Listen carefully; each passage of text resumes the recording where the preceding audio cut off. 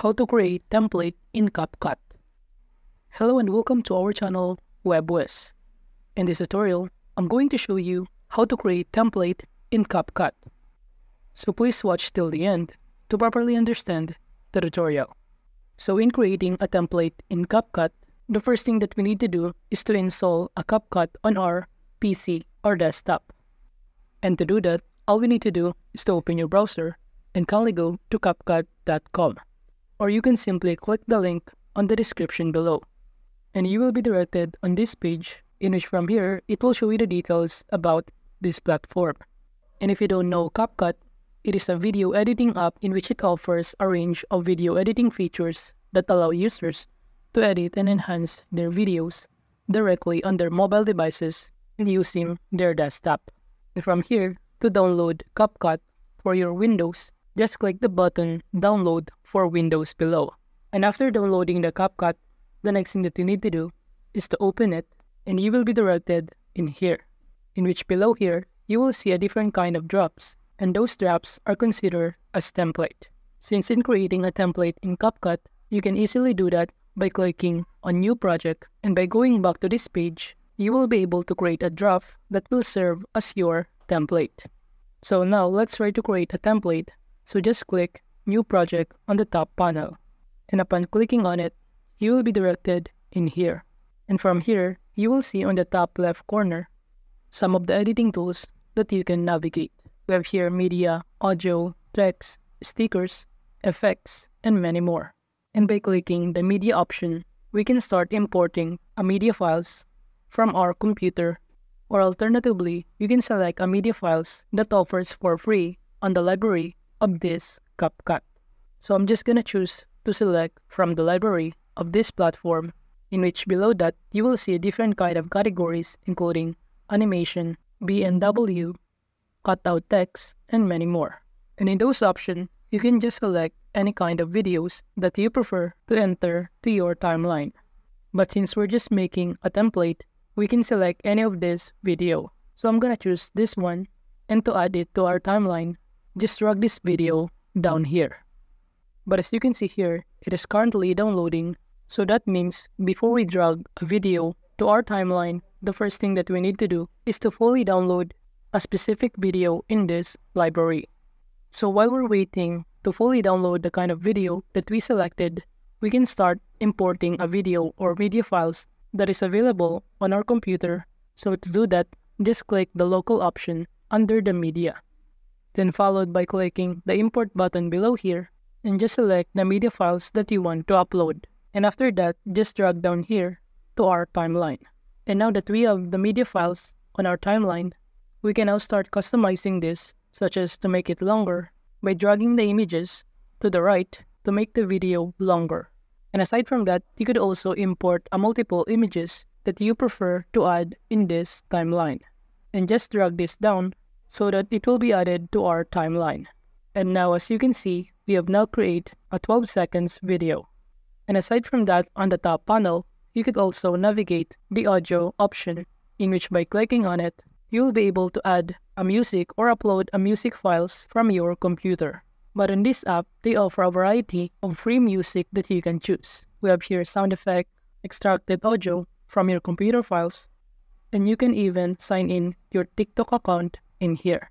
So in those options, let's say I'm gonna choose from music category, in which they also offer a subcategory including vlog, warm, beat, and many more.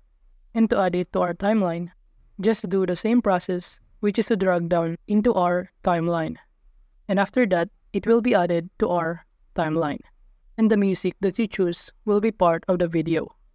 And aside from that, you could also customize the length of this music by dragging it down to the left to shorten the music. And you could also adjust this by dragging it to the right in order to lengthen this music. And aside from that, you could also navigate the text option in which you could add a different kind of context, including default text text with effects, text template, and many more.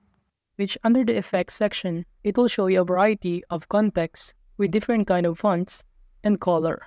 And aside from that, you could also download a text template and drag it down to your timeline in order to add a specific template to your video. And let's say we want to input a context of default text. You kindly click this default text and it will show to your video and all you need to do is to customize the context. And to do that, all you need to do is to go on the right side panel and just enter the text that you prefer. So let's say I'm gonna enter sample text. And you could also drag it down the context or change the location of it in your video. And on the right side panel, you could also customize the font style, the size of it, the color, and many more. Aside from that, you could also navigate the sticker option, in which it may help you to make your template more creative to look at, in which on the right side panel, you will see a variety of sticker that you can choose. And it is also divided into category. We have here trending, emphasis, icons, emoji, vlog, and many more. And after selecting a specific stickers, you could also change the layout of it, the size, and even the position using the editing tools on the right side panel. In which as you can see below, here are the, some of the elements that we just input in our templates. We have here stickers, the context, and even the audio that we just input. And aside from that, you could also navigate the effects option on the top panel in which it will give an effects to your video in which it might be help to make your template more creative to look at. Now moving on to the transitions option.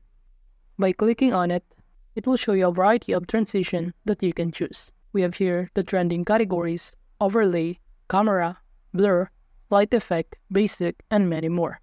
And in those options, I'm going to select this black fade, in which this will serve as a transition from our first picture to the second picture. Now for the filter section or option on the top panel, you will see here some of the filters that you can choose, including the portrait category, life, food, movies, night scene, and many more, in which it may help you to change the mood for the better of this video template. We have here Calm, 90s Pop, Santa Monica, Barbie, Oppenheimer, Glow, Sunshine, and any other filters that you can choose. Or if you want to customize manually the mood of your video, just click the adjustment option on the top panel and you can start customizing the adjustment of your video template.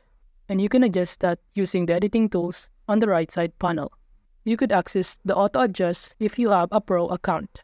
But if you don't have one, you can manually adjust the brightness, the sharpen, fade, and many more.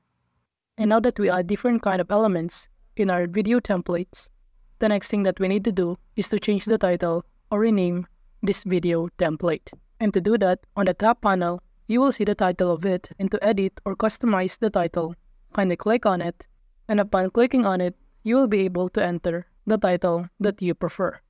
So let's say I'm gonna enter intro sample. Then the next thing that we need to do is to export these video files or alternatively, we can just go back by clicking this menu and click back to homepage or exit. Upon clicking on it, we will be able to be directed in here, in which from here, you will see the intro sample or video templates that we just created. And to customize this, we can just simply click on it and add additional elements on the video. So that is just how to create template in CapCut. Thank you.